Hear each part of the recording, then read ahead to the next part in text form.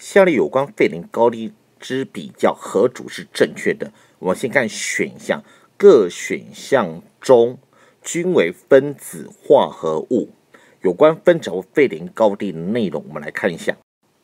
分子化合物熔沸点比较，第一个有分子间氢键的化合物，其熔沸点比较大。第二点，如果没有分子间氢键的话，则熔沸点比较。我们第一个先比较是分子量，为什么呢？因为分子形状相同的极性分子或非极性分子，分子量越大的，其反德瓦力越大，熔沸点越高越高。第二点，如果是同分异构物，或者是分子量相同，或者分子量相近时。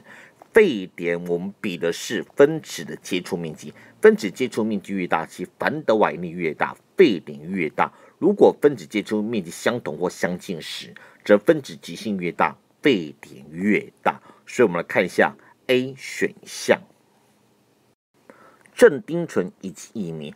正丁醇中存有羟基，羟基的氢是接在氧上，因此它具有。分子间氢键，而乙醚的氢都接在碳上，因此不具有分子间氢键，所以正丁醇的沸点大于乙醚。B 选项，甲醇与甲酸，对甲醇而言，氢有接在氧上，因此它具有分子间氢键，而甲酸一样也具有分子间氢键。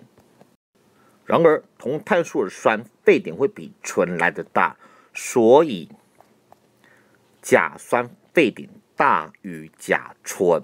C 选项，新戊烷以及异戊烷同分异构，我们比的是接触面积。新戊烷中中间碳为 sp 三正十面体，所以可以接近，可算是接近球形，因此它的接触面积比较小。而一烷只有一个质链，接触面积比较大，因此我们比的是分子接触面积，所以异戊烷沸点大于新戊烷。然后 D 选项氧气跟氮气，首先这两个都没有分子间氢键，所以我们先比分子量，氧气分子量为三十二克除摩尔，而氮气为二十八克除摩尔，分子量氧气。大于氮气，因此氧气跟氮气的沸点比，我们是比分子量，分子量越大者沸点越高，所以氧气沸点大于氮气。一选项顺二氯乙烯以及反二氯乙烯沸点的话，这两个没有分子间氢键，所以我们先比分子量，而且这两个为同分异。构物分子量一样，因此我们再比接触面积，接触面积也都一样，因此我们要比的是极性。以极性的话，碳氢电偶极方向朝向碳，碳氯氯电负大，所以朝向氯，因此此为极性分子。而反二氯乙烯朝向碳，朝向氮，刚好相互抵消。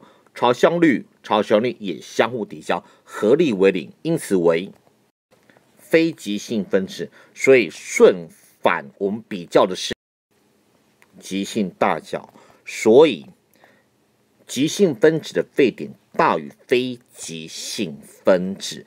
因此，我们来看一下各选项。A 选项正丁醇大于乙醚是正确的。B 选项甲醇大于甲酸不对，C 选项锌戊烷大于异戊烷也不对，D 选项氧大于氮也正确，E 选项顺大于反也正确，答案为 A、D、E。